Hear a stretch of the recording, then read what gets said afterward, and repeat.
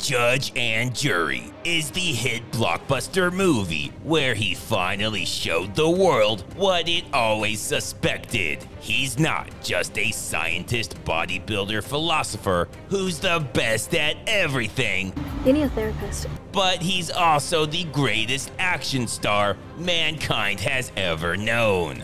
We get the deepest and most detailed backstory of his career All the time I spent in the CIA.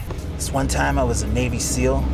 before blowing everyone away with his maturity by being with a woman older than all the other women in his movies combined.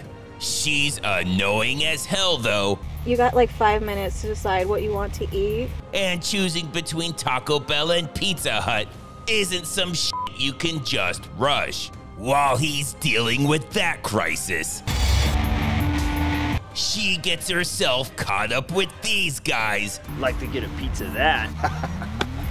who must not know how she is.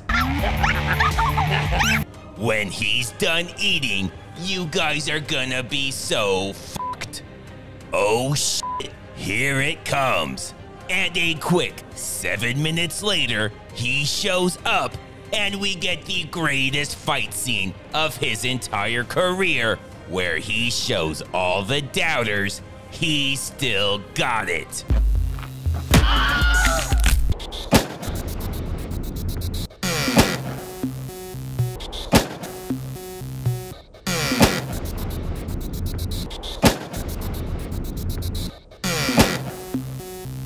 My hero! Shut up! Nobody hurries the great one. You got like five minutes to decide what you want to eat. And who the fuck says BRB? Okay, BRB.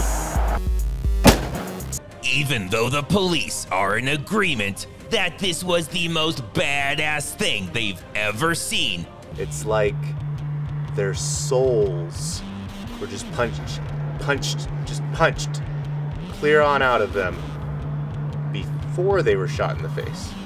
the many, many accusers that came forward from his wild night at Mardi Gras I recognize those beads. proved to be his downfall.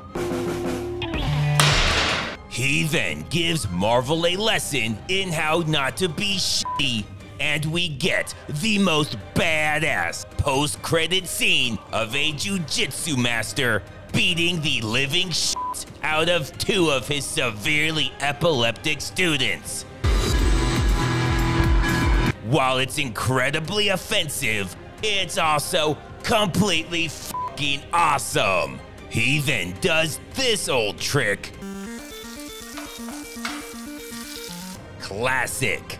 And after breaking out of what's clearly a maximum security federal prison, he gallops majestically into the night like an Australian freshwater crocodile.